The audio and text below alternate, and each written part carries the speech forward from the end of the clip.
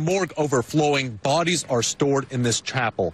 Every person died alone. 一具具棺木装的全是染疫死者，就连教堂也是一片凄凉，无人出席的告别式让人心碎。意大利去年疫情大爆发，甚至曾单月连续确诊破万。如今一年多过去了，疫情似乎原地打转。这个疫情已经是大到就是新闻其实都不太会报了，大家只会说哦，今天是红区。就是你哪里都不能跨区。意大利封了又解，解了又封，红橘黄灯不停转换，陷入无限轮回。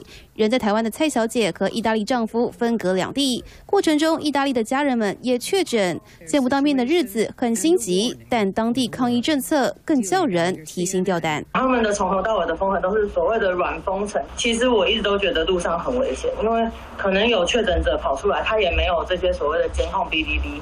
什么手机追踪啊，完全没有，没有一九二二，也没 CDC 记者会，集中检疫所就是个人住家，更别说关怀大礼包，就连快筛也是走得来速，只要一生病就得有三头六臂，自己身兼里长、阿中部长，还有卫生所员工，俨然就是一条龙式家族防疫长工。只要二采阴十天，他就可以回到公司去上班了。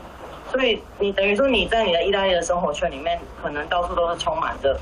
二彩英十天就在外面正常生活的人，欧洲采取自主约束，关在家里等待自我康复。好不容易等到了疫苗，也得看地区密度。若是人口多的热点，还是得占线预约，疯狂刷网页才抢得到。我也是很希望说，这个疫情不要在第四波大爆发，然后。我可以顺利打到疫苗之后，我就很希望可以回去。希望今年能和丈夫团圆，一起过耶诞节。尽管一年多内意大利翻天覆地，但当地人仍旧活力满满。